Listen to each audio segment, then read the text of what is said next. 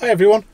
What was your biggest fear when you were learning to drive? Or are you still learning to drive and what's your biggest fear? We're going to look at one scenario today that I think is pretty high on that list.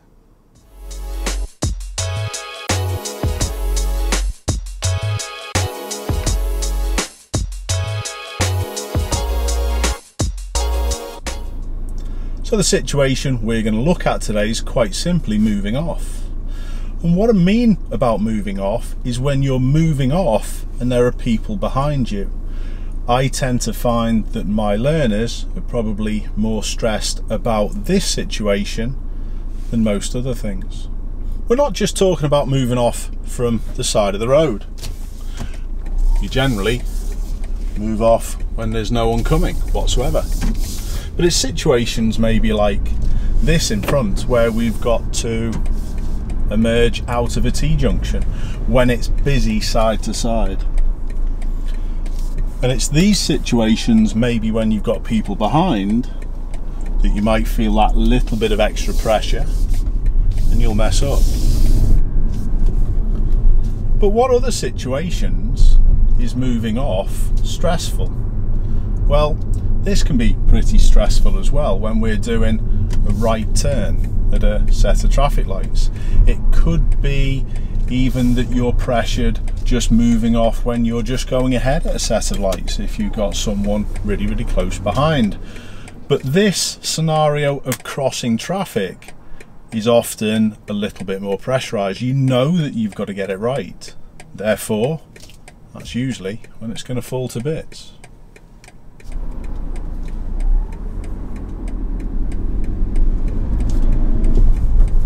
Even with the lights changing, sometimes people may feel as though they've got to rush and clear because they know the traffic from the side's going to start moving. The classic time for me though, where I feel most people get stressed moving off, is when they're trying to emerge, not necessarily at a T-junction or a crossroad, but a roundabout. Things happen and change really fast when you're trying to emerge onto roundabouts this is where people tend to rush.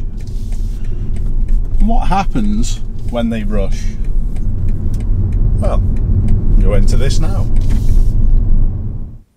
A few things can happen when people are put under pressure and it usually involves them stalling the car. The three reasons why people stall the car are these. First of all, it could be selecting the incorrect gear. Instead of going for first, they rush, they panic, and maybe choose third or even forget that they were approaching perhaps in fourth gear. And then because the lights change in front of them and there's people behind they think they've got to get out of there and then they forget about the gear altogether. So that can be the first stage of rushing and it causing the stall. The other two reasons why people stall are to do with your feet I always go on about on all my videos and all my lessons that people should not be starting off with their foot on a foot brake and using the clutch. When you find a bite then going across towards the accelerator or gas that shouldn't be the case and that's another reason why people stall. But that's digressing slightly. However it can actually make the situation worse if you feel under pressure um, and the main reason is because there's a lack of gas, a lack of power. Your car needs power to move off. And when your foot's on the foot brake and you find a bite, your car is not got enough power to actually move it away. I'm going to try and explain how this works just quickly. I'm going to turn the car on what I'm going to do, I'm going to um, sit with my foot on the foot brake, press the clutch down, I'm going to stick it into the correct first gear. What I'm actually going to do, I'm going to keep my foot on the foot brake and find the bite. And what you'll see is the rev counter here on the right hand side, it's sitting at idle and it's just below 1000 revs. As I lift and find the bite, what actually happens is that you can hear it, it's struggling now because if you think about it, your car's lowest speed that it wants to work at is idle speed. If I find a bite, there's a load on that engine. The engine's trying to pull the car away or it's trying to work. Therefore, your engine revs drop. So it's this lack of gas which often causes the stall. You don't have enough time if your foot is on the foot brake to apply enough gas to stop the car stalling. So the lack of gas can be a big deal. What people are scared of generally when they're learning to drive is the sound. They're worried about that sound of the engine, but you need to give it a little bit. You need to have enough power so you can hear it positively before you then move off. So the lack of gas is the second reason why people are going to stall. The final one is simply using the clutch too quickly. People think you have to continue to lift the clutch as you continue to move and that's not the case. If you lift the clutch up to the biting point, you will only need to lift it a tiny, tiny, tiny little bit to actually get the car off and moving and you leave that clutch probably just around the bite, maybe a little bit above the bite for approximately a car length whilst you're moving away and then you lift it up and you can actually hear when the clutch plates actually match speed when you can lift this clutch all the way up. It's difficult to hear on the audio on the camera but I'm just going to quickly demonstrate. I'm just going to have to wait for this guy to move off. There's a few kids around as well. I'm going to let him go okay. So I might have to tweak the audio after recording um, in in editing for you to be able to hear this but I'm, I'm going to try and um, demonstrate this as much as I can. So as you use your gas to move off you then lift the clutch to the bite and you'll hear the engine revs change. Now lift and it is after about a car length. So using the clutch too quickly is also going to cause you to stall. To have these three things all in place as you're moving off is obviously really, really important. But what can we do to actually make sure that this happens?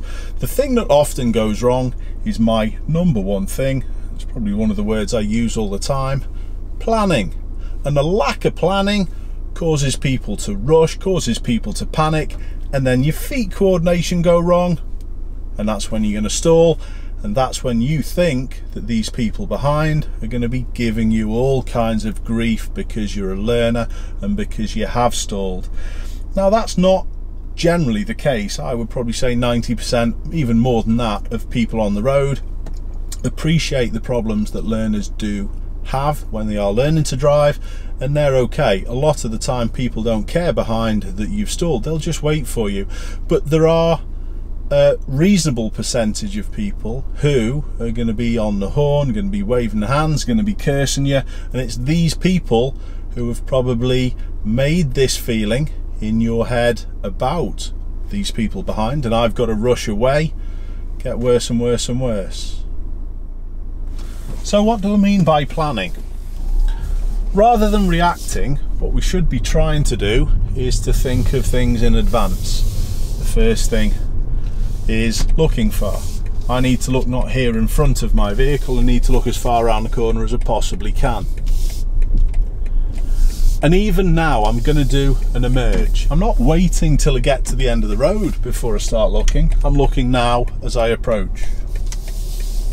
And it's this not being reactive and planning, which makes things loads easier and allows you time to get prepared so you can flow.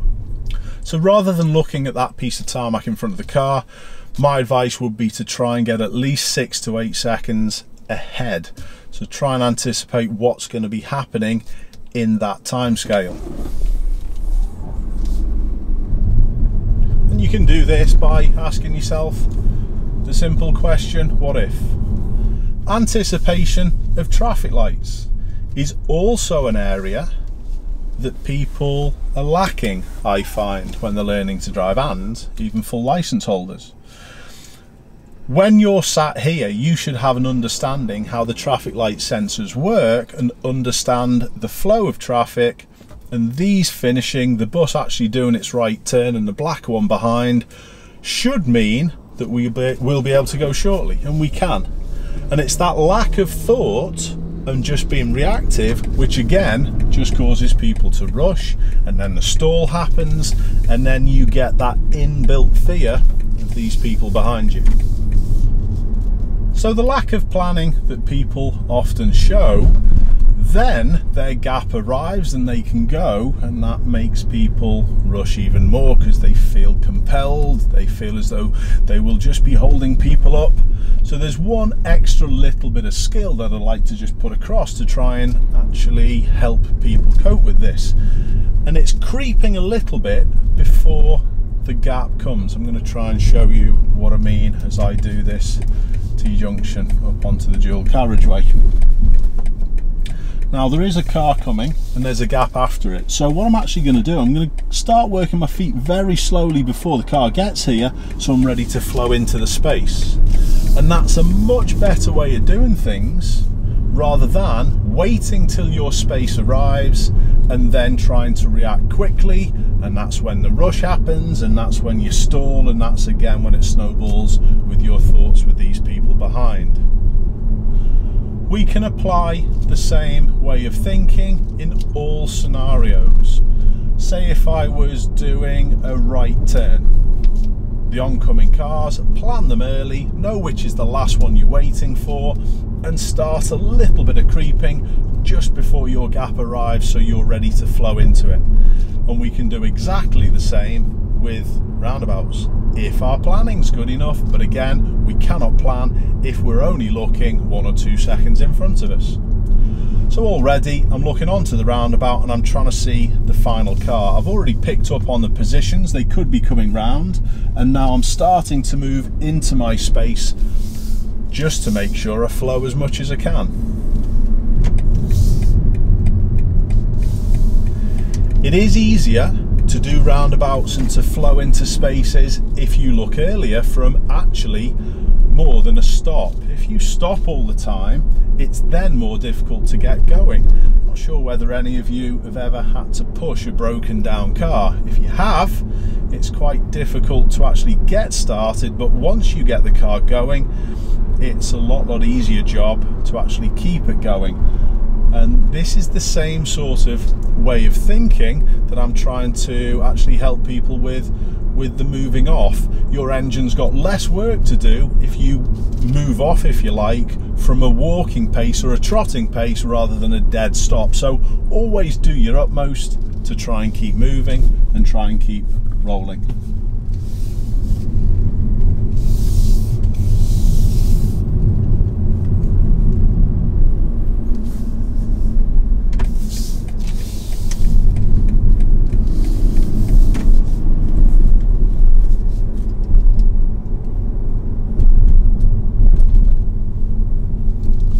So I'm slowing down more for the white one and I'm planning my gap to move after. My feet are working before the white one's even past me.